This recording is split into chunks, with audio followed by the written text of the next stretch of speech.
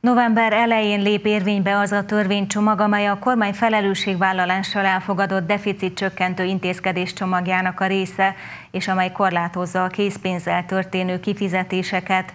A kezdeményezők szerint az intézkedés szűkíti az adócsalás lehetőségét és növeli az államkasszába befolyó összegeket.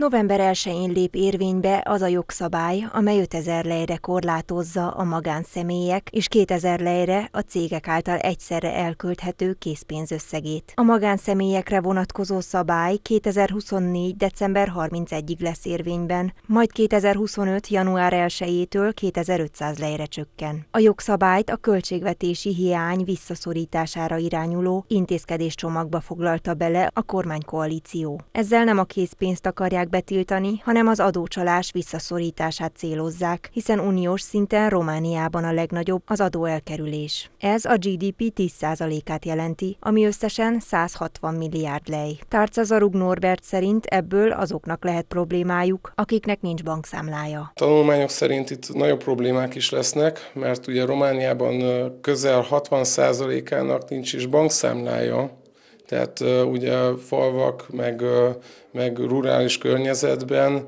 nagyon nincs bankszámlájuk az embereknek, tehát hogy itt elég nagy problémákkal fogunk küzdködni, mert vagy az fog történni, hogy akkor folytatódik az adócsalás, meg a fekete piac az ugyanígy fog működni, vagy növelni, növekedni fog akár. A jogszabály megtiltja a vásárlás összegének több, a küszöb alatti értékekre történő felosztását is. Amennyiben valaki nem tartja be az előírásokat, bírságra számíthat, amelynek értéke nem lehet kevesebb 500 lejnél.